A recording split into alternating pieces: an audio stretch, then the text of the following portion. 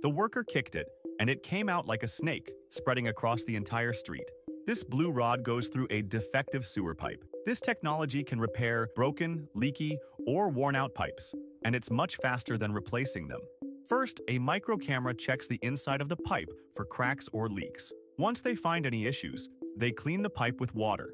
This removes the rust and dirt that build up inside the pipe, which is making it hard for water to flow through. Now, the relining process begins. The workers measure the pipe and cut a piece of liner to the same size. A vacuum pump removes air from the liner and fills it with epoxy resin, stirring it by hand to prevent air bubbles that can weaken it. Epoxy resin is very strong and chemically resistant. It's also a good choice to prevent tree or grass roots from blocking the pipe. Once the felt fully absorbs the resin, the team smooths the liner and puts it in a compressor. The compressor uses air pressure to push the liner into the old pipe. The liner inflates and sticks to the pipe walls. The new pipe hardens and sets in four hours. Afterward, the air is released from the liner, the liner is cut and removed, and the new pipe remains lined. This pipe can last over 50 years.